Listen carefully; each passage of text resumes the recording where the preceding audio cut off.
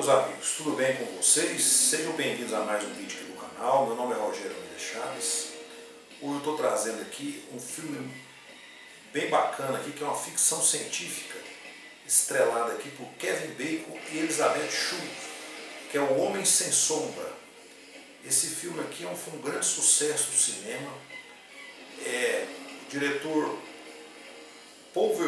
é um diretor holandês, diretor de Robocop, Instinto Selvagem, Vingador do Futuro e Tropas Estelares. Para ter ideia aí o currículo desse diretor, né? grandes filmes ele dirigiu.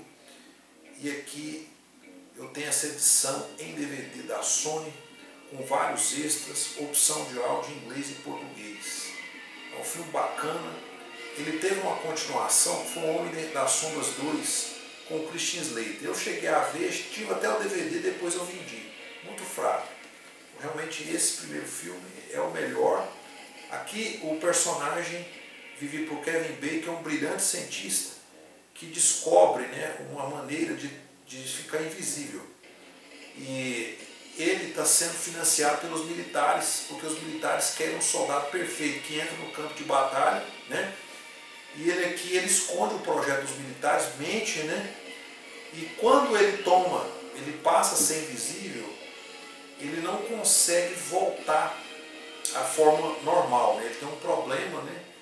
e aí ele tem uma mudança fortíssima no seu estado psicológico, ele já tem uma psicopatia, e aqui ele é apaixonado por Elizabeth Schultz, que faz a cientista colega dele. E ele passa a persegui-la, né? tem até uma mulher que é violentada sexualmente por ele.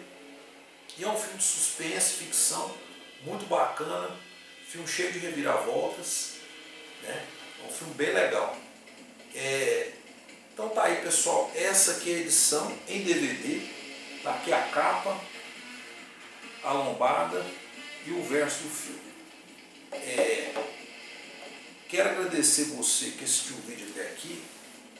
É, você que é novo no canal, que gosta de conteúdo cinematográfico, descobriu meu canal aqui no YouTube, faça inscrição no meu canal e assim que novos vídeos forem publicados, acione o sininho para receber as notificações.